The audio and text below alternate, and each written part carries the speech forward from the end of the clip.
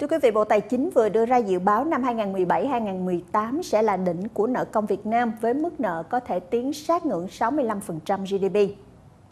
Bộ Tài chính đã dự báo rằng đỉnh nợ công sẽ rơi vào năm 2017-2018 và có thể giảm dần trong những năm sau đó. Cụ thể, với giả định rằng tăng trưởng GDP vào khoảng 6,7 đến 7% thì nợ công năm 2017 sẽ lên đến 64,8% GDP. Năm 2018, nợ công vẫn duy trì ở mức cao vào khoảng 64,7% GDP và phải đến năm 2020, nợ công mới có thể giảm điểm phần trăm, lùi về 63,7%. Bên cạnh đó, Việt Nam sẽ phải chính thức dừng nhận vốn vay ưu đãi của Hiệp hội Phát triển Quốc tế IDA thuộc Ngân hàng Thế giới World Bank từ tháng 7 năm nay. Cùng lúc nguồn vay ODA cũng bị điều chỉnh theo hướng lãi suất tăng lên thời hạn ngắn đi. Sắp tới đòi hỏi phải có sự thay đổi trong quan hệ giữa ngân sách trung ương và địa phương nhằm đảm bảo xem xét dòng tiền trả nợ tại các địa phương hàng năm và đảm bảo các nơi không có tình trạng nợ nần quá mức. Tuy nhiên, Bộ Tài chính nhấn mạnh rằng đây chỉ là kết quả dựa trên giả định, còn mức cụ thể sẽ tùy tình hình kinh tế của từng năm mà có sự thay đổi.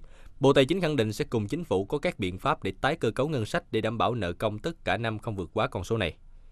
Mức nợ công tính đến cuối năm 2016 của Việt Nam là 63,7% GDP, trong đó nợ chính phủ là 52,6%.